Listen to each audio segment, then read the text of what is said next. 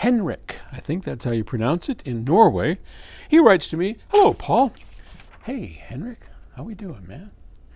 I have recently ripped some of my old CDs using Exact Audio Copy. Great program. Little clunky user interface, but it's a great sounding program.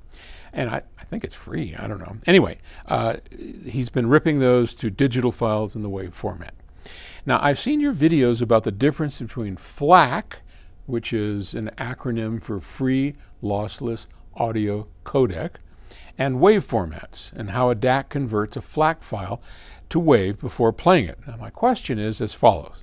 If you have ripped a CD to FLAC files and you convert the FLAC files to WAV, will those files be identical to the same CD ripped to WAV files? Well, the short answer to that is yes, they will.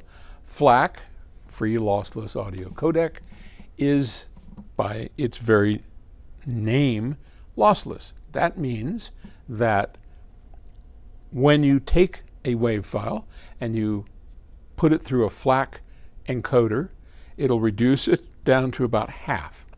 And then when you decode it, it brings it back up to where we started. So you have half as much storage to store a file. And theoretically, and in my experience, it is in fact lossless, which means that will be identical bit for bit as you do that.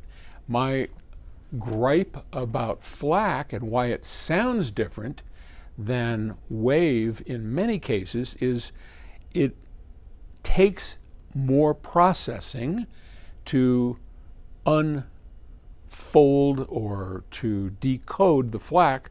So the processor that you're using, if it's going in real time, is working harder, creating a bit more noise on the power supply and everything that's going on in the system, and you'll hear a slight difference on many systems. That's my theory. Now, plenty of you, oh, believe me, I read the comments and I know, like, it's trivial. And I, it may be trivial, but it still is doing more than if you didn't do that. And there is also no one that has come up with a better idea to explain to me and those that hear the differences between FLAC and WAV to explain it. We know it's bit perfect, so that doesn't explain it. They are identical. So something is different, and the only thing I can think of is that there's more processing going in real time. So for Henrik, if you do it beforehand, if you convert your FLAC to WAV, and then you play a WAV file, it should sound identical. And in my experience, it absolutely does. So there. to all of my critics, no, that's unfair. You're in such a goofball.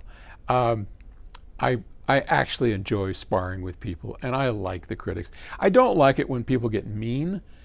There's no reason to get mean because this is audio. We're we're here to have fun. Come on.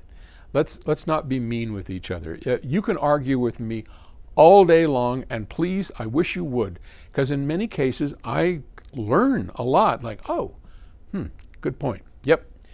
And I like to learn. And I hope you do as well. So let's not be mean to each other. But if you want to poke some fun, that's fine. That's okay. I, I actually enjoy it. So I'll take back my. no, I won't. All right, enough before I get in trouble. I'll talk to you later. Bye.